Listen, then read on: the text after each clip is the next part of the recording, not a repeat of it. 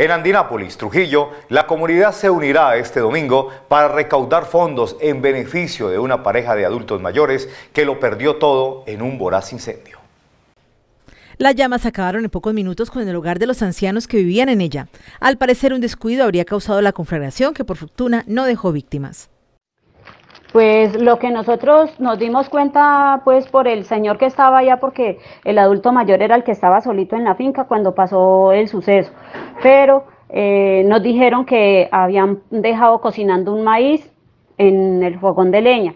Y entonces pues seguro el anciano se quedó dormido y, y quién sabe se cayó un tizón o, o quién sabe qué pasaría, en todo caso se prendió la casa cuando el anciano se despertó, ya toda la casa estaba en llamas y dando gracias a Dios que en una ventana ya se había quemado, ya se había caído, entonces él se tiró por esa ventana y fue a dar al cafetal pero eso es lo que nosotros, esa es la hipótesis que nosotros tenemos de, que causó la, el, el, incendio fue el fogón de leña. Los adultos mayores habitantes de la vivienda perdieron todo en ese incendio.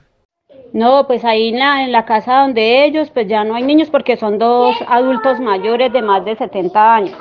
Entonces, pues ahí sí había un poco de, de familia de ellos que habían venido a pasar el fin de año con ellos, de Bogotá pero a ellos sí se les quemó pues toda la, maleta, la ropa, hasta la, plata, los papeles personales y todo eso. El objetivo es bregarle a parar la casita porque ellos no tienen más a dónde estar, a dónde vivir. Entonces, pues en seres también, pues ellos no les quedó nada de la cocina ni nada de, de la casa porque todo quedó reducido en cenizas. Por esa razón, la comunidad realizará una gran teletón solidaria por la reconstrucción de la vivienda de la familia Cañaveral Delgado el próximo domingo 6 de enero en el Polideportivo Norberto García Quiseno del corregimiento de Andinápolis, zona rural del municipio de Trujillo. Entonces nosotros vamos a hacer una campaña de una teletón el domingo si Dios quiere, con toda la gente que nos quiera colaborar con dinero, con enseres, con cobijas, con con mucha cosa porque ellos quedaron prácticamente sin nada. Nosotros fuimos a mirar ayer y ellos no, a ellos no les quedó nada, nada.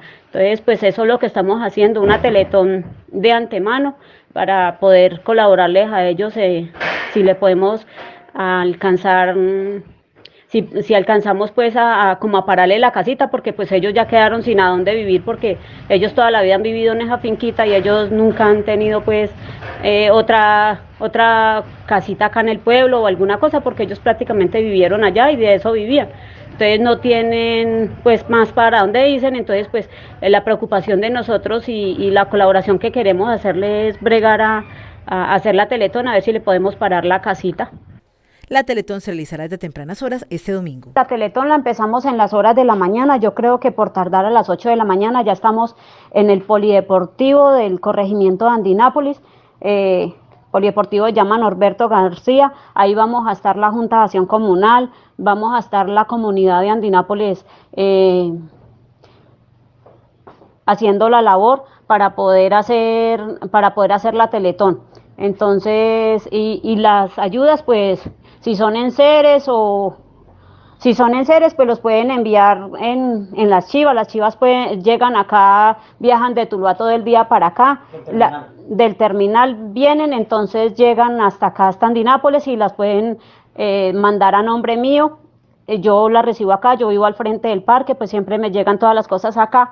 Quienes no puedan ir a Andinápolis también pueden consignar sus ayudas en la cuenta bancaria número 469-520-0383-43 del Banco Agrario.